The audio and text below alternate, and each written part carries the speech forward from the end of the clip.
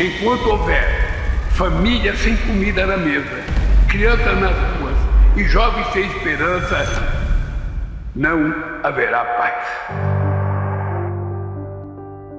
We promise to eliminate extreme poverty and hunger until 2030. However, far from falling at the necessary pace, hunger and poverty are growing. If all the efforts made over the past decades to combat hunger and poverty have proven insufficient, a new approach is necessary and urgent. With Brazil chairing the G20, President Luiz Inácio Lula da Silva convened a task force to consider actions to change this reality. Five reports were produced by international organizations with a clear diagnosis.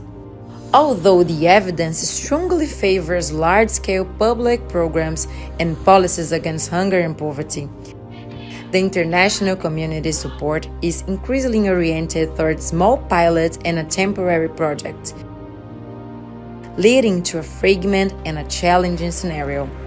And the world needs more, much more than that.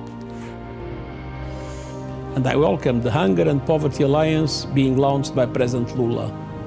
Hunger has no place in the 21st century.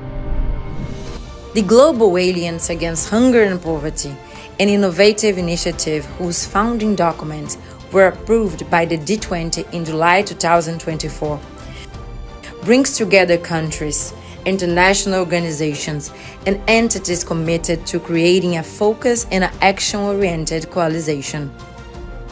Many countries have successfully implemented policies and programs against hunger and poverty. We already know what works. What we need is a scale up finance and a chain of financial support that knowledge to where they are most needed. Transforming lives.